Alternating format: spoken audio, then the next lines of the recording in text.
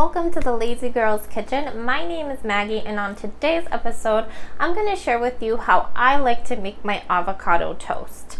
Now, there's so many different variations out there and they're all so amazing, but this by far is my favorite combination with some sweet, some salty. I think you guys are gonna love it. So without keeping you waiting any longer, let me take you through the list of ingredients.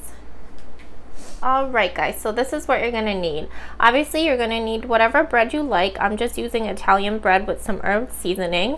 You're to need some tomatoes, some arugula, some lime juice, some honey, some pepper, some salt, and then some avocado. Okay, so I just popped my toast into my toaster and while that's toasting, what I'm going to do is I'm going to take the back of my fork and I'm just going to mash up my avocado. This is just going to make it a lot easier for you to spread this on your toast. So we're just going to do it like so. There we go. And now to that, I'm going to add a pinch of salt and then some black pepper.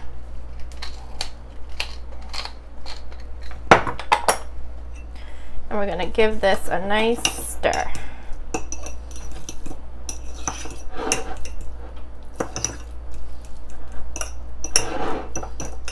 Okay, now I'm gonna set this aside and I'm gonna take my arugula right in here.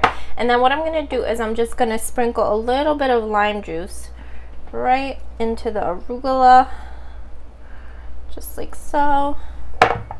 And then I'm just going to take the same fork. It doesn't matter because they're all getting spread together anyways. And just kind of give this a nice toss. All right, so I'm going to go grab my toast and then I'll show you how we're going to assemble it. Okay, so my toast is nice and toasty as you can see. So now I'm just going to spread some avocado mixture onto each of my toast. And this is what I call my lazy girls breakfast because it literally takes five minutes. You don't need to stand in front of a stove. It's just perfect. All right, let me just scoop the rest of this out. And even if you're not an avocado lover, I find that people that aren't fond of avocados or have never tried them, this is like the perfect, I would say like the perfect start out like meal because it's just seasoned with so many different things that it's definitely worth it. All right, so I'm just gonna put that here. I'm missing a tomato, but that's okay. and then on top of that, I'm just gonna add in some of my arugula that I just coated with some of my lime juice. And the arugula here, it's almost got like a I don't know if you guys ever eat like an arugula salad because arugula has its own like special flavoring that's just so hard to recreate. And in this combination, it's just divine. And then to finish it off, I'm just going to take a sprinkle, just literally like a little bit of honey. Just a tiny, tiny, tiny bit. Oh. There we go.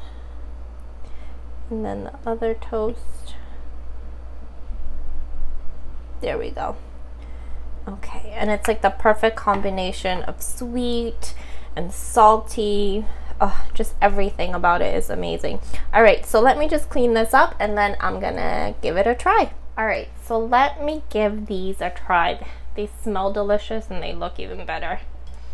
All right, so this is it. Look at how the beauty of it. Can you see that? Tell me that doesn't look amazing. All right.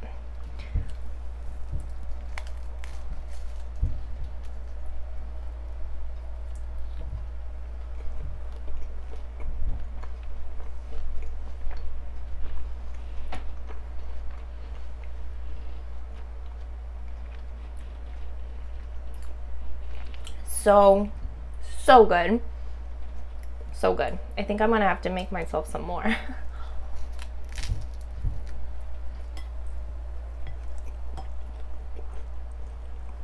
and it's really light. Like the breakfast itself is so light. You're not eating anything heavy. You don't feel like overwhelmed by anything, but it's just like the perfect mixture of everything of sweet, of salty, of like decadent, all in one, and it's so delicious. You guys definitely have to head over to www.thelazygirlskitchen.com to get the written recipe and make sure you give me a thumbs up and subscribe. I really do appreciate it. So make sure you guys you do that. Make sure you guys do that for me, and I'll see you guys next time. Bye.